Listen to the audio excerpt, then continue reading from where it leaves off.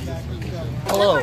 I'm Tyrone Roderick Williams, Director of Development at the Sacramento Housing and Redevelopment Agency and Director of the Sacramento Promise Zone. Here we are in the Avenue celebrating the raising of the first walls of what will be five new homes built by Habitat for Humanity here in Sacramento. That means that five families working with the corporate and business community and a whole host of volunteers will be over the next five to six months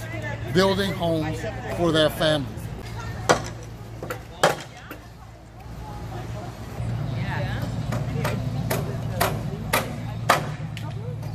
This really does support the goal in the Promise Zone of providing affordable home and access for families, particularly in our market that's where rents are increasing and housing prices are increasing, and a lot of low and moderate income families are finding it difficult to find a place that they can own. But right here on 43rd Street, things have changed for five new families, and we're happy to be here to celebrate the beginning of five new home ownership opportunities in the Sacramento Promise.